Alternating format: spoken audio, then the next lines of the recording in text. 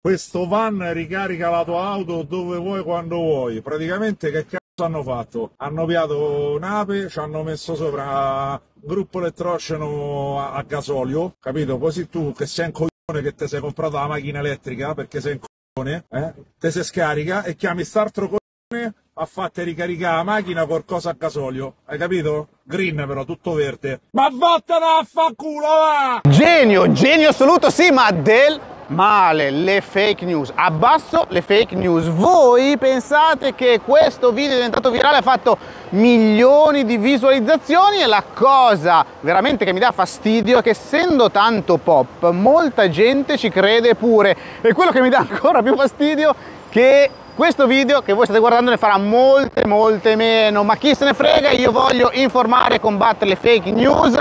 E poi mi spiace per gli amici di eGap che sono stati anche penalizzati da questo video che è diventato virale perché loro danno un servizio molto utile, tolgono l'ansia da ricarica perché vengono a domicilio a caricare il vostro veicolo elettrico o plug-in con questo mezzo, ma non solo, poi faccio vedere anche le novità di quell'altro mezzo, perché tra l'altro io con Gap ho fatto una collaborazione, vi ho raccontato come funziona il servizio e lui è completamente elettrico, no, non c'è gasolio, ma poi soprattutto non è neanche un'ape. E oltre ad avere un motore elettrico, trazione elettrica, anche all'interno non un generatore diesel, ma, e ve lo faccio vedere meglio, una batteria con un'infrastruttura di ricarica su ruote. Lei arriva, vi carica la macchina e poi torna in deposito a ricaricare le batterie, ma questa è la novità.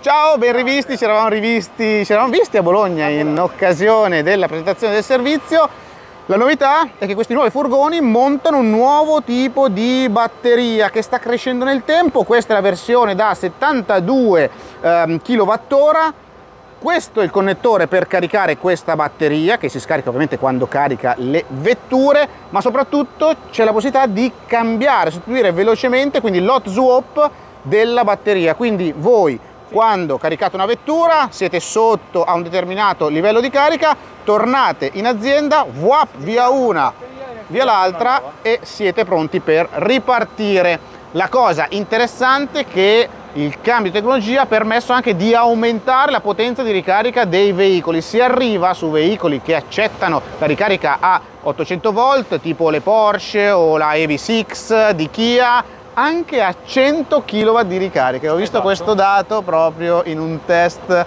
al Porsche Experience Center di Franciacorta. Esatto. Bravi ragazzi, abbasso le fake news, però volevo far vedere un attimino anche qua com'era questo veicolo. Tra l'altro adesso in questo momento state ricaricando una ID3 Qui c'è tutto il pannello di controllo che permette di controllare settare i vari parametri. Quindi anche settare, quindi potete sì, anche programmare sì, sì, la ricarica. Programmarla, sì energia, tempo, riusciamo a vedere la potenza di ricarica che in questo caso è di 20 kW perché la macchina è quasi carica, siamo al 97%.